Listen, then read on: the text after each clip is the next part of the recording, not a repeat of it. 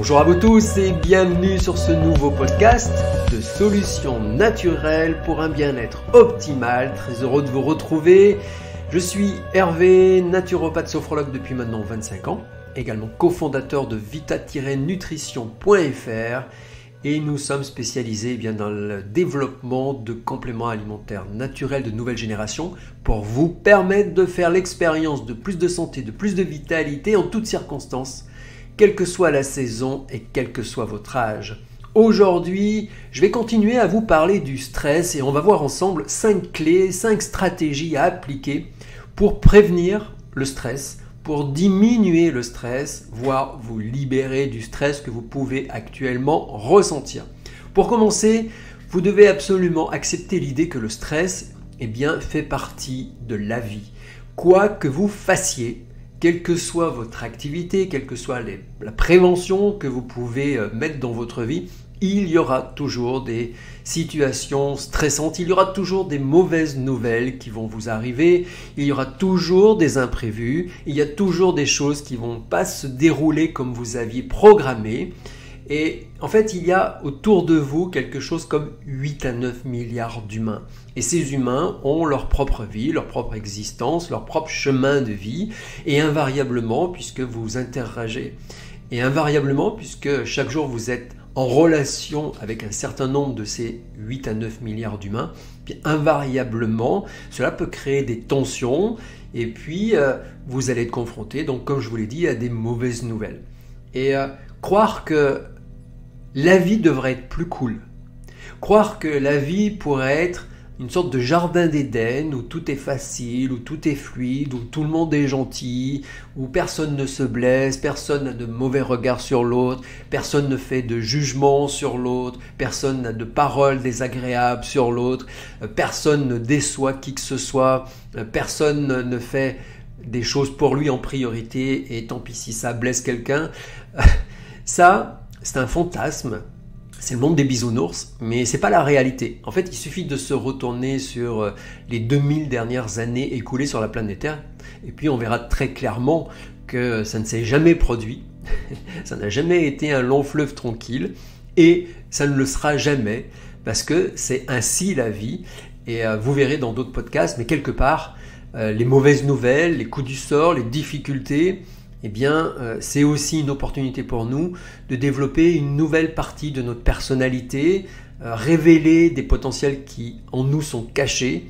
Et, euh, et c'est pas si négatif que ça lorsqu'on a le bon mindset pour y faire face. Donc, plutôt vous acceptez l'idée que dans cette vie, eh bien, vous allez être confronté à des difficultés, à des imprévus, à des mauvaises nouvelles, à des retards, à des abandons, à des trahisons et je ne sais quelle autre chose désagréable à vivre. Plutôt vous acceptez cette idée et plus tôt vous pouvez mettre en place des stratégies pour y faire face. Ça, c'est le côté prévention. Si on sait que quelque chose va arriver, eh bien la sagesse, c'est de mettre en place une stratégie pour savoir y faire face lorsque ça va arriver.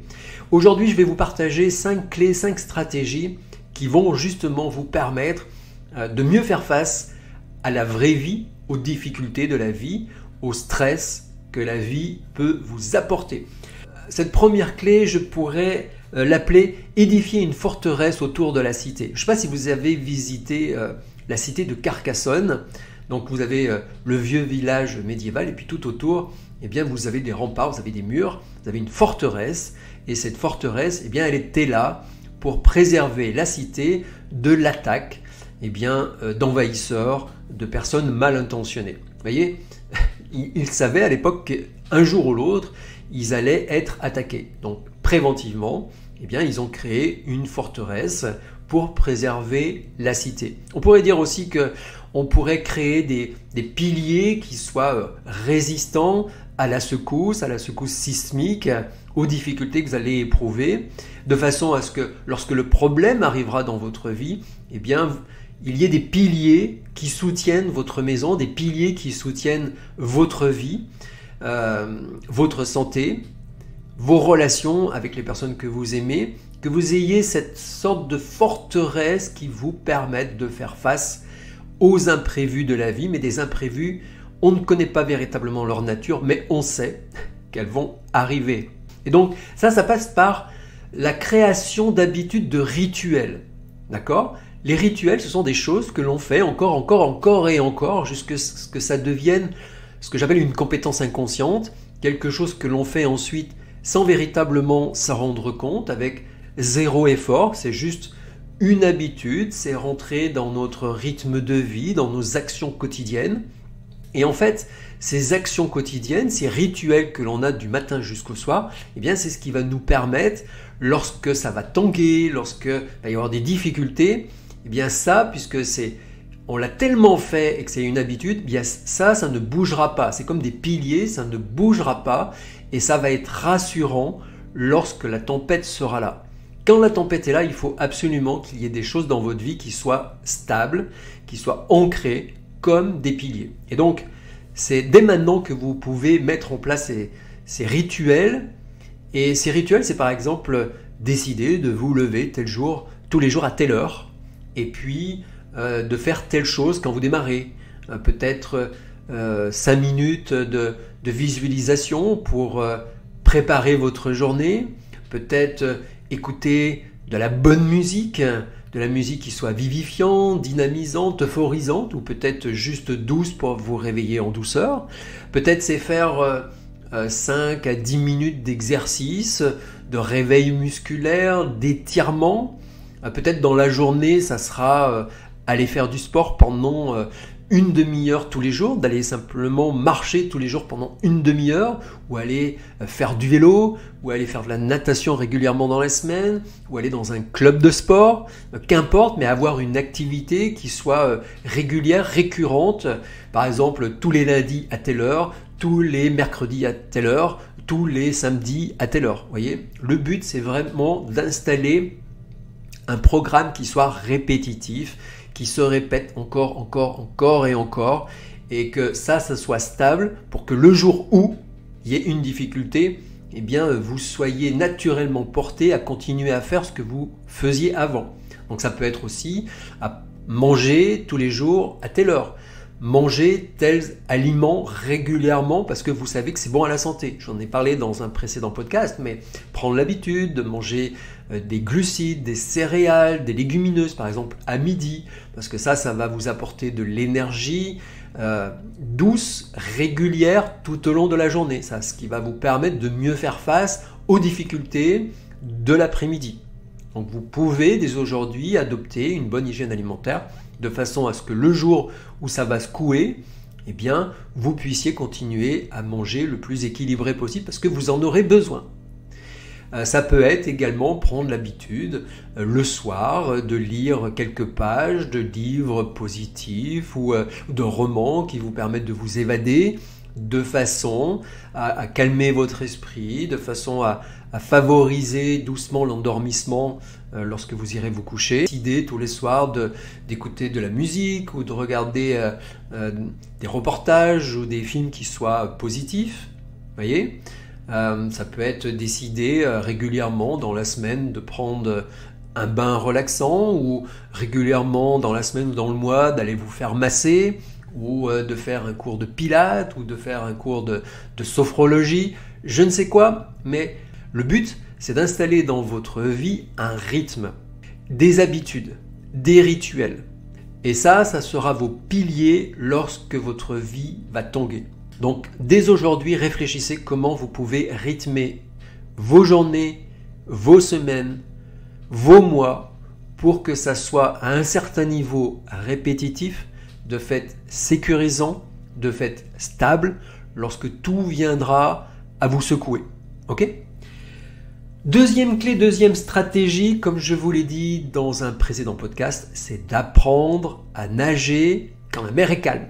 Et oui, il est plus facile d'apprendre à nager en piscine lorsque l'eau ne bouge pas, ou euh, à la Méditerranée euh, quand il n'y a pas trop d'eau, lorsqu'il n'y a pas de vagues, plutôt que d'attendre un jour où il y a une tempête et se dire tiens aujourd'hui je vais apprendre à nager ou alors d'être dans un bateau et puis euh, le bateau chavire vous tombez à l'eau et vous dites ah bah tiens je vais apprendre à, nager. Non, c'est trop tard. Si vous savez que des tensions vont arriver dans votre vie, des mauvaises surprises vont arriver dans votre vie, des gens mal intentionnés vont être sur votre chemin, peut-être des gens vont vous trahir, vous abandonner, que sais-je. Si vous savez que ça va arriver, apprenez maintenant, aujourd'hui, tout de suite, à nager quand c'est pas encore le cas. Apprenez à nager quand la mer est calme pour que de nager, ça soit un automatisme et que ça puisse sauver votre vie. Alors ça veut dire quoi dans notre cas? Lié au stress On va pas apprendre à nager nécessairement, mais on va apprendre à avoir le bon mindset et surtout le bon dialogue intérieur. Vous savez, on se parle tous. On a un dialogue intérieur. On se parle à voix basse ou, sans voix, mais dans la tête. Et on ne fait pas toujours attention à ce qu'on se répète. On ne fait pas toujours attention à nos habitudes verbales. Et pourtant, ça a un impact sur notre façon de penser, sur notre joie, sur notre énergie, sur notre confiance en nous-mêmes, sur notre confiance en la vie, sur notre confiance en l'avenir. Donc le but maintenant, c'est de prendre le contrôle de vos pensées. Ça commence par vous observer, prendre du recul et découvrir quel est le type de pensée que vous avez de façon récurrente dans votre esprit. Quel est ce dialogue intérieur que vous avez envers vous-même? Et vous allez être surpris parce que bien souvent, on a un dialogue intérieur véritablement négatif envers nous-mêmes. Et si quelqu'un s'autorisait à nous dire ces phrases-là, alors on serait choqué et alors on riposterait. Nous, le doigt qui vrippe sur le clavier ou euh, une petite erreur d'inattention, il disait Ah, je suis bête. Et elle répétait ça plein de fois dans la journée Ah, je suis bête. Et je lui disais Non, tu ne l'es pas, mais à force de le répéter, oui, tu vas le devenir. Parce que ce que l'on se répète dans notre tête de façon récurrente, encore, encore, encore et encore, ça devient notre programme, ça devient notre software, ça devient notre réalité. C'est ainsi qu'on devient parce qu'on se le répète. Donc euh, prenez le contrôle de vos pensées et développez un dialogue intérieur qui soit positif. Ok? Soyez votre propre coach. Soyez votre meilleur ami. Si vous deviez avoir un coach à côté de vous, qu'est-ce qu'il dirait dans telle ou telle situation? Ce coach, il serait positif.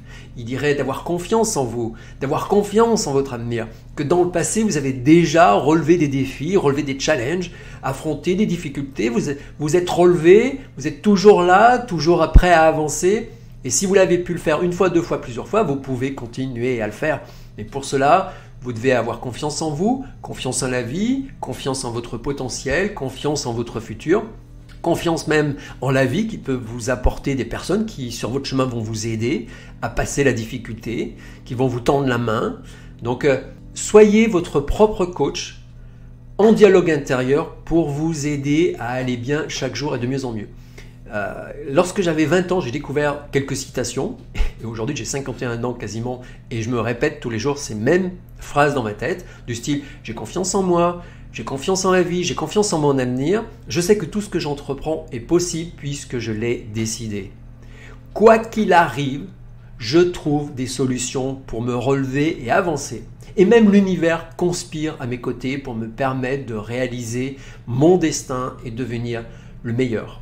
Le meilleur de moi-même, pas le meilleur parmi vous, le meilleur de moi-même, la meilleure version de moi-même. Où je vais bien et chaque jour de mieux en mieux. Je vais bien et chaque jour de mieux en mieux. Je suis rempli d'énergie, de vitalité et de bien-être.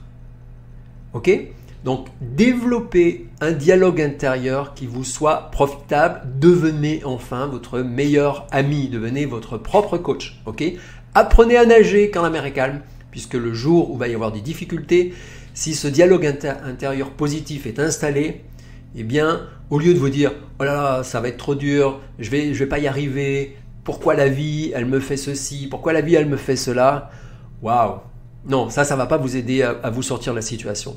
Par contre, si vous avez pris l'habitude d'être positif, euh, de, vous soutenir mentalement, alors vous allez y arriver. Ok? Donc apprenez à nager quand la mer est calme. Troisième clé, eh bien, euh, c'est ce que j'appelle le cercle d'influence. Euh, Jim Rohn, un de mes mentors que j'ai eu la chance de, rencontrer plusieurs fois à Paris, avait l'habitude de dire que nous sommes la moyenne des cinq personnes avec qui nous passons le plus de temps. En fait, euh, on devient fumeur en côtoyant euh, des amis fumeurs. On a tendance à faire du sport si nos amis font du sport. On devient végétarien si nos amis sont végétariens.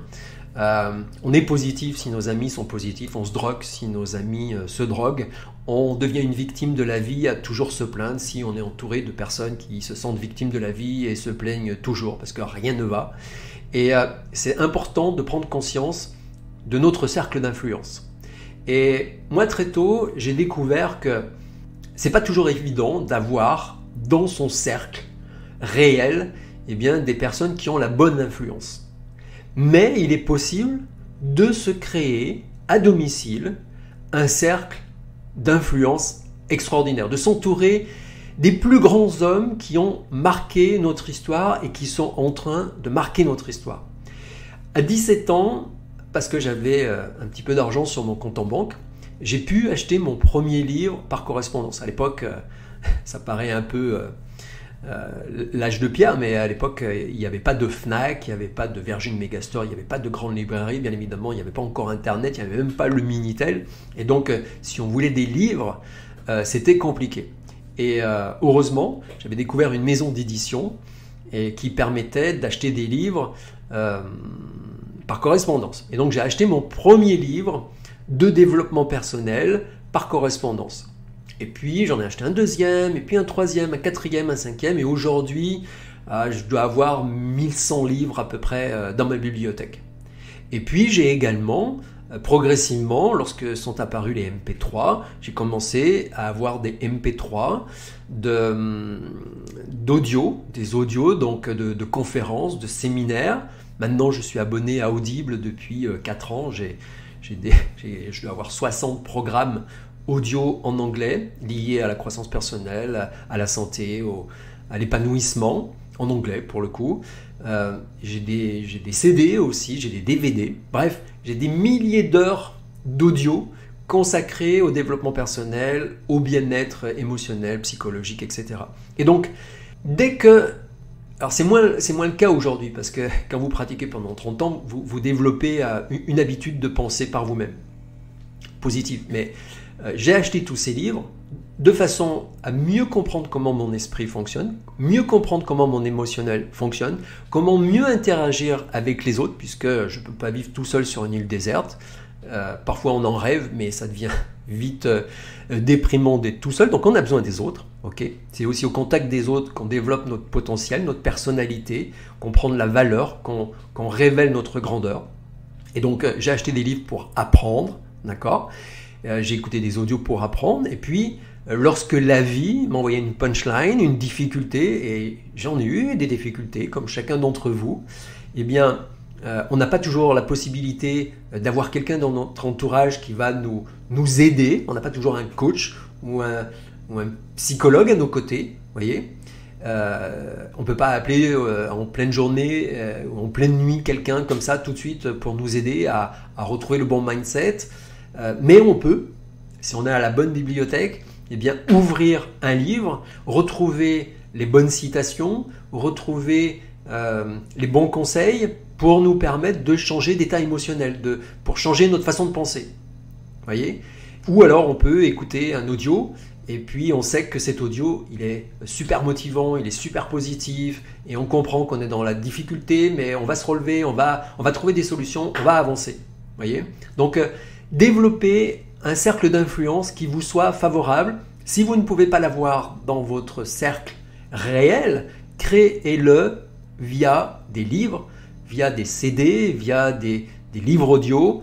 Mais aujourd'hui, on vit une époque incroyable où on peut avoir des livres pour vraiment pas cher. Il y a des livres de poche à 3, 4, 5, 6 euros. Euh, il y a des livres audio. Moi, je suis abonné à, Audible. Bon, c'est 9,95 euros par mois. Euh, le dernier audio, il fait 10 euh, heures d'écoute, donc vous voyez, c'est pas très cher l'heure. Il y a tous les podcasts que je vous donne, il y en a d'autres aussi que vous pouvez trouver sur Internet de d'autres auteurs. Donc il y a vraiment la possibilité aujourd'hui de s'entourer de personnes qui peuvent vous aider à faire face aux difficultés que la vie va vous présenter. Parce que la vie va vous en présenter. D'accord? Donc est-ce que vous allez être prêt lorsque la vie va vous présenter des difficultés? Vous ne pourrez pas dire Ah ben je ne savais pas qu'il allait m'arriver de quelque chose de difficile. Non, vous ne saviez pas quoi exactement, mais vous êtes assez intelligent aujourd'hui pour savoir que il va arriver quelque chose qui ne sera pas agréable. Ok? Quelqu'un va mourir, quelqu'un va être malade, quelqu'un va avoir un accident, quelqu'un va devoir partir ou s'éloigner de vous, quelque chose va prendre du retard, euh, quelque chose euh, va, pas se passer comme vous aviez prévu. Ok? Donc, euh, est-ce que vous serez prêt ce jour-là à y faire face le mieux possible? Ça dépend que de vous. Voilà. Quatrième stratégie, c'est vous développer une playlist musicale. Ah, ça, c'est quelque chose que j'ai depuis euh, très longtemps, une playlist musicale. J'ai notamment une playlist, ça va faire à peu près 15 ans que je l'ai, et que j'enrichis régulièrement, d'accord? Euh, Dès que j'écoute des musiques euh, à la radio, par exemple, ou sur Internet, hop, je balance Shazam, je vois qui chante, et ensuite, eh bien, j'achète, je télécharge le, morceau, et je le rajoute à ma playlist. Et, et j'ai plusieurs types de playlists. J'ai des playlists euh, plus avec de la musique, on va dire, de film, musique épique, voyez, quelque chose qui, quand vous l'écoutez, waouh, peut-être vous n'êtes pas prêt à partir à la conquête et à la guerre, mais euh, vous avez une incroyable énergie pour faire face à la vie et aller atteindre vos rêves et aller atteindre vos objectifs, atteindre vos envies, créer la vie que vous avez envie. Voyez, ça, j'ai des playlists de musique épique et quand vous les écoutez, ça vous donne des ailes. Ok, vous vous redressez, vous tirez les épaules en arrière, vous relevez la tête et vous avancez et euh, quelque part vous vous sentez un petit peu le héros euh, du film épique dont vous avez euh, la musique maintenant dans les oreilles. Ok? J'ai d'autres playlists avec de la musique, ça peut être du, rock, du hard rock, de la pop, de la techno et ça c'est beaucoup plus dynamique dans le côté happy, happiness, vous voyez, de la joie, de la gaieté, ça, ça vous rend joyeux, ça vous rend positif, ça vous met le sourire aux lèvres, vous avez envie d'avancer, vous avez envie d'être cool avec les gens qui vous entourent, euh, vous sentez que vous allez passer une bonne journée. Donc ça, j'ai des playlists comme ça. J'ai des playlists aussi euh, de musique plutôt relaxante, apaisante. Et euh, toutes ces playlists, en fait, je les ai tellement écoutées que aujourd'hui, il suffit que je les écoute un tout petit peu pour automatiquement me replonger dans le bon état émotionnel. Comme je vous l'ai dit, on, est des êtres à s'auto-programmer on crée des associations. Telle musique égale joie. De fait, chaque fois que j'écoute cette musique et que je suis joyeux, mon esprit commence à intégrer que cette musique égale la joie. Et donc si un jour j'ai pas la joie et que j'écoute cette musique, invariablement je vais tendre vers la joie. Ça c'est de l'association. OK? Donc vous pouvez vous auto programmer pour l'énergie, pour la joie, pour l'enthousiasme, pour euh, relever les défis, pour vous détendre, pour vous relaxer. Ok? Euh, il y a quelques années, euh, j'ai pu plusieurs fois, trois fois de suite, aller à, l'UPW d'Anthony Robbins, qui est un de mes mentors, qui est sans doute le plus grand euh, coach au monde. Deux fois, j'y suis allé en tant que pour, pour, apprendre, pour pratiquer, puis une année pour, pour être ce qu'on appelle dans le crew, donc dans l'équipe qui aide à l'organisation, qui aide les, les, participants. Et donc dans les UPW d'Anthony Robbins, il y a à peu près 10-15 000 personnes. et il y a régulièrement de la musique, et des musiques qui reviennent régulièrement au fur et à mesure des 4 jours qui, qui, qui passent. Et c'est associé systématiquement eh bien, à de l'énergie, à, à de la joie, à, de l'envie d'entreprendre, à des choses extrêmement positives. Vous êtes là avec vos amis, euh, vous êtes là avec 10 000 autres personnes, il y a de la lumière, il y a la sono qui est forte. Et de fait, ces morceaux de musique, ils s'ancrent en vous, ils rentrent dans votre esprit, ils rentrent dans votre émotionnel. Et donc, dans ma playlist, j'ai ces morceaux-là. Je peux vous dire que quand je les réécoute, en 3 secondes, je suis à nouveau dans ce qu'on appelle le peak state, je suis à nouveau dans cet état que j'ai connu quand j'y étais. Parce que c'est associé dans ma tête. Il y a une association entre la musique et l'émotion. Donc, euh, développez chez vous une playlist de façon à le matin ou dans la journée vous mettre en forme. Et puis, euh, si il devait y avoir quoi que ce soit, vous la réécoutez et vous savez que vous allez faire face à la situation. Ou alors une playlist que vous prenez l'habitude d'écouter le soir plutôt pour vous détendre et vous relaxer. Et si un jour il y a du stress, vous réécoutez cette playlist de détente et de relaxation et vous allez automatiquement, rapidement replonger dans cet état de calme et de sérénité. Ok? Vous savez que le stress va arriver, vous savez que des imprévus vont arriver, alors préparez vos playlists pour être prêts. Moi j'ai également une web radio qui s'appelle di.fm, c'est de la musique électro. J'ai quelques chaînes musicale sur cette euh, web radio. J'écoute cette chaîne musicale tous les jours quand je fais mon sport. c'est extrêmement positif, extrêmement dynamique et ça me met en joie pour la journée. Ça me polarise sur la nouvelle journée. Ok? Donc, euh, créez-vous une playlist. Cinquième stratégie pour terminer, c'est la gratitude. La gratitude. C'est difficile d'être en pleine gratitude et en même temps être stressé et se dire c'est une vie de merde ou c'est une journée de merde ou rien ne va. Ok? On est dans le monde de l'unité de 1. Ok? Une seule pensée à la fois, une seule émotion à la fois. Vous ne pouvez pas être heureux et malheureux au même moment. La seule seconde qui est réelle, là maintenant, c'est soit vous êtes heureux, soit vous êtes malheureux, soit vous êtes apeuré, euh, soit vous êtes euphorique, soit vous êtes euh, quoi que ce soit, mais vous n'avez qu'une seule émotion. Et quand vous faites votre liste de gratitude, eh bien, vous vous sentez bien et vous vous sentez mieux. Et faire une liste de gratitude, c'est ce que je fais chaque jour. J'ai l'habitude de le faire avant de me coucher. Ça, je vous en ai déjà parlé sur le podcast dédié au sommeil. C'est ce que j'appelle le sommeil du juste. Vous êtes juste envers la vie lorsque vous savez, avant de vous coucher, retrouver dans la journée les choses qui ont été belles. Il y a quelqu'un qui vous a tenu la porte, il y a quelqu'un qui vous a fait un sourire, vous avez mangé quelque chose d'agréable, euh, il y a quelqu'un qui vous a fait un compliment, ou juste vous avez l'électricité chez vous, ou vous avez le chauffage chez vous, vous avez de l'eau chaude chez vous, vous avez pu prendre une douche, vous avez pu euh, vous savonner, euh, vous avez des habits propres, vous n'êtes pas en insécurité, c'est pas la guerre, il n'y a pas des attentats, il n'y a pas des bombes qui tombent. Vous voyez, il y, a, plein de choses de quoi euh, se, se satisfaire et avoir de la gratitude. Soit tout n'est pas encore absolument parfait, ok? Mais il y a quand même plein de choses qui sont positives. Il suffit parfois de voyager ailleurs ou juste dans nos rues et de voir des gens qui sont SDF ou des gens euh, qui sont moins bien lotis que nous et on se dit waouh, ok, j'ai un ordinateur, j'ai un téléphone, euh, j'ai l'électricité, j'ai une maison, j'ai un appartement, j'ai un toit, j'ai une chambre, j'ai un lit, j'ai un matelas, j'ai une couverture, j'ai des vêtements, je peux laver mes vêtements, je peux aller aux toilettes, euh, j'ai à manger, je peux faire chauffer à manger, j'ai de la musique, j'ai des amis, j'ai quand même des gens autour de moi. Vous voyez, il y a quantité de choses pour avoir de la gratitude. Donc moi, ce que je vous invite, c'est régulièrement faire gratitude. Quand je dis régulièrement, c'est au minimum une fois par jour. Prenez l'habitude le soir de retourner dans votre journée et de noter au minimum 5 choses pour lesquelles vous avez de la gratitude. Et vous allez devenir un expert en reconnaissance d'événements dont vous pouvez avoir de la gratitude.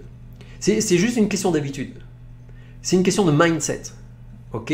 Plus vous prenez l'habitude de trouver les éléments dans la vie, dans la journée, où vous pouvez avoir de la gratitude, et plus vous allez en trouver régulièrement. Et après, vous allez en trouver tout le temps. Et vous allez vous dire, waouh, ma vie est incroyable, je suis entouré d'événements dont je peux avoir de la gratitude. Ma vie est quand même pas si mal, elle est même plutôt cool. Ok?